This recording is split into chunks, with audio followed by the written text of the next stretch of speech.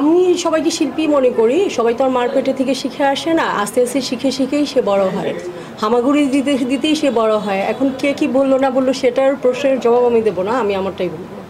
যে আস্তে আস্তেই সে হোঁচট খেতে খেতেই হাঁটা শেখে।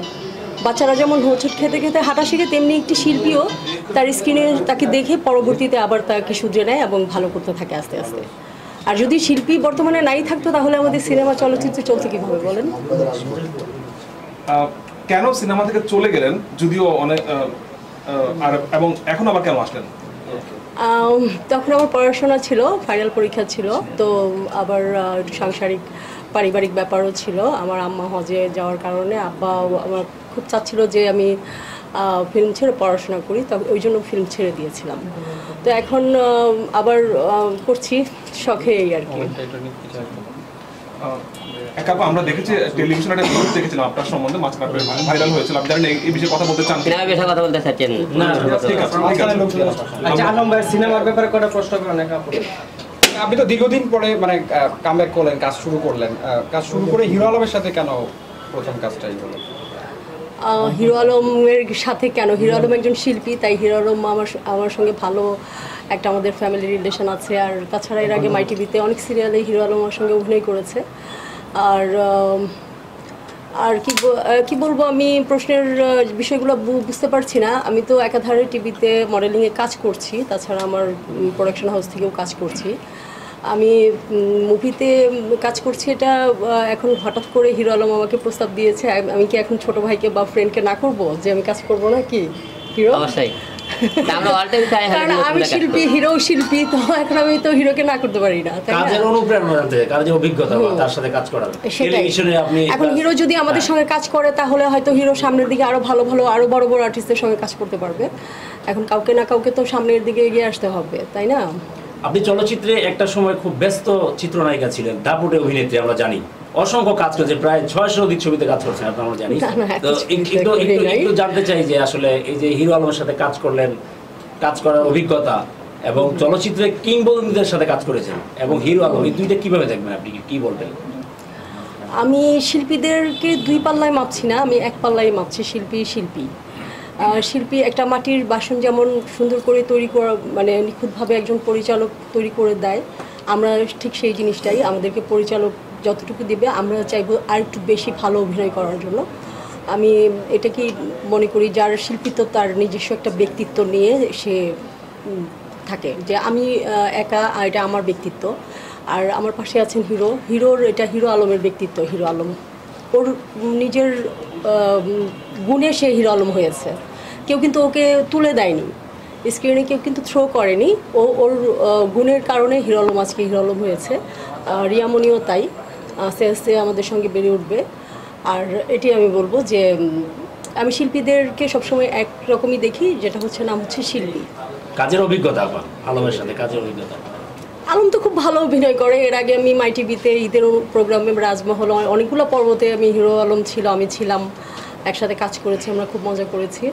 তো খুব ভালো অভিনয় করে আর কমেডিতে খুব ভালো করে আর যে গানটা আমি সামনে থেকে দেখেছি শুটিং তো খুবই চমৎকার মানে ওর ক্যামেরার লুকিং অভিনয় ভালো লেগেছে আমার কাছে।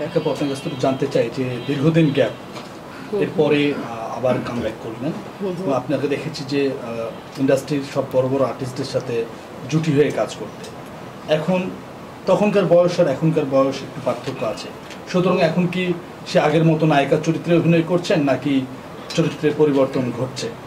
না আমরা একটু অন্য নতুনত্ব নিয়ে আসছি। নায়িকা চরিত্রে অভিনয় করছি কিন্তু একটু নতুনত্ব আছে। কেমন ধরনের জানতে এখন সিনেমাটা রিলিজ হলে এটা দেখতে পারবেন কেমন নতুনত্ব আছে। আগে বলে দিলে তো হয়ে গেল। যেহেতু আবারও কামব্যাক করেছেন সেক্ষেত্রে ইন্ডাস্ট্রি থেকে যা যারা সিনেমা বানাচ্ছে তাদের কাছ থেকে ডাক পাচ্ছেন কিনা? হ্যাঁ অনেক অনেক অফার আসে আমার। অ্যাকচুয়ালি আমি খুব গল্প দেখে দেখে কাজ করি তো যে কারণে আমার তেমন একটা কাজ করা হয় না। অনেক সময় গল্প পছন্দ হয় না বা এই রকম আর কি। এখন টাইম লাইনে কি কি কাজ আছে আমার কিছু কাজ আছে আমি আরও তিনটা ছবিতে অভিনয় করছি কাজলা দিদি মেঘবালিকা এবং আর এই হিরো আলমের এই দুইটা ছবিতে কাজ করছি। এছাড়া আমি অনেক নাটকে কাজ করছি আর মডেলিং তো আছেই। আর এই তো। হিরো আলমকে নিয়ে হিরো আলমকে নিয়ে অনেকজন অনেক কথা বলে খুবই কথা বলে। সে দেখতে ভালো না কালো। আমিও কালো। হ্যাঁ, সে কালো বা সে ছোট বা চিকন চাকন হ্যাংলা। তার অভিনয় হয় না ডান্স হয় না। সে একজন আচ্ছা। কমেডিও ঠিক মতো করতে পারে না উচ্চারণ ঠিক নাই। এভাবে অনেকেই অনেক মন্তব্য করে। কিন্তু একজন একা অর্থাৎ অনেক বড় বড় সুপারহিট সিনেমার উপহার দিয়েছেন ইন্ডাস্ট্রিকে একজন একা সেই হিরো আলমকে কীভাবে মূল্যায়ন করে? আসলে অ্যাকচুয়ালি আপনার অনেকগুলো প্রশ্ন তো কোনটার জবাব দিব? একটা প্রশ্ন হচ্ছে যে অনেকে হয়তো জেলাসের কারণে হিরো সম্পর্কে কটু কথা বলতে পারে বা অনেকে এত নাম ধাম পাচ্ছে না এই জন্যও বলতে পারে বা এই ধরনের হতে পারে। কটু কথা বলার কিছু নাই। যে জিনিসটা যার মানে কালো ধরা এটাতে কোনো ব্যাপার না। আর ক্যামেরার আহ, অভিনয়টাই হচ্ছে সবচেয়ে বড় ব্যাপার। সুন্দর ফর্সা দিয়ে তো মানে এখানে ফটোগ্রাফিটাই তো বড় মূল বিষয় না অভিনয়টাও তো করতে হবে তাই না?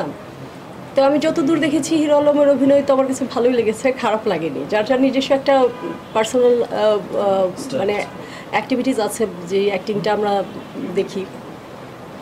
আচ্ছা। তো এক সময় ছিল মান্নার একটা স্টাইল দিলদার আলী ভাইয়ের একটা স্টাইল হিরো আলমের হিরো আলমের একটা স্টাইল নিয়েই তো আসছে তাই না?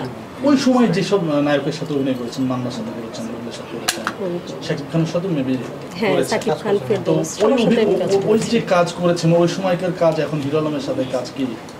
পার্থক্য কি খুঁজে পাচ্ছেন? না এটা তো ফার ডিফারেন্স তখন আমরা থার্টি ফাইভে কাজ করেছি এখন ডিজিটালে কাজ করব। ডিজিটালে অলরেডি আমি কিছু কাজ করেছি। তো তখন আমরা টিনেজ ছিলাম এখন মোটামুটি অভিজ্ঞতা বেড়েছে এখন সিনেমার গল্পটা ওরকম হবে।